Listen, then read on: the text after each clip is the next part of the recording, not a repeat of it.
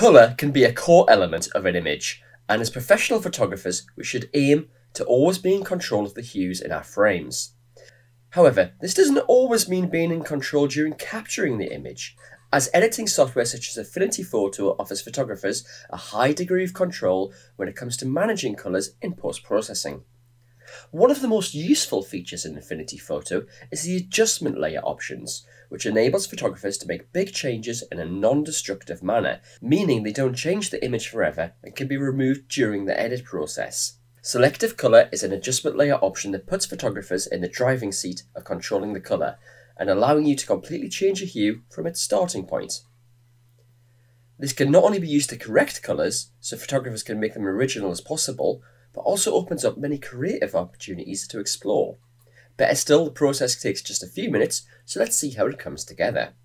Once you have opened your image in Affinity Photo, make sure you are in the software's photo persona.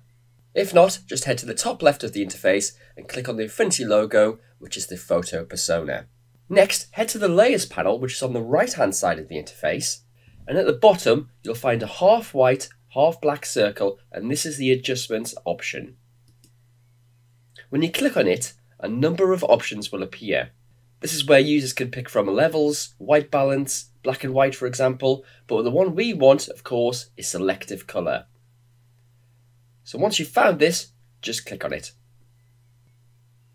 A dialog box will appear and will give you an option of clicking on a drop down menu bar, listing a number of various colours reds, yellows, greens, cyans, blues, magentas, whites, neutrals, and blacks. Once you select a colour, you've then got four slider bars cyan, magenta, yellow, and black. Once you move the sliders, the colours in the frame will begin to change. Within this dialog box, you'll see a box called Relative. When ticked, the software will work with the colour range that is relative to the image you're working with. If you untick the box, you may well find that the colour change is too heavy and compromises the look of the image. Although it may be tempting to adjust colours such as reds and cyans, Affinity Photo also allows users to experiment with whites, neutrals and blacks. When adjusting the sliders with these options selected, you can add a noticeable cast that will really benefit the finished image. However, the effect can be overloaded quickly, so use the effect sparingly. Now, as you have added an adjustment layer, you can remove areas that you wish to return to the original colour. Head to the left hand side of the interface to the toolbar area and select the paintbrush tool. The keyboard shortcut for this is B.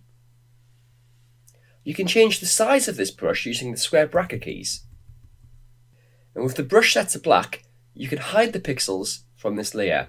So for example, in my image, although I've changed the brake caliper to orange, I want to return the main Porsche badge to its original red. So if the hardness set to 0%, I'm going to stop brushing this out.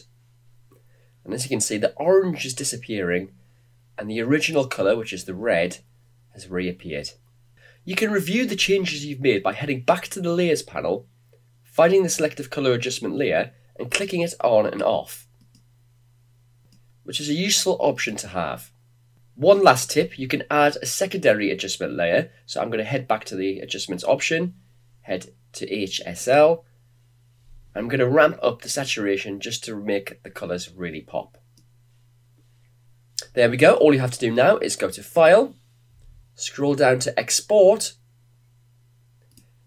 and you can save the file in your chosen format, whether that be a JPEG or TIFF. There we go, have fun using selective colour with your images, and thanks for watching.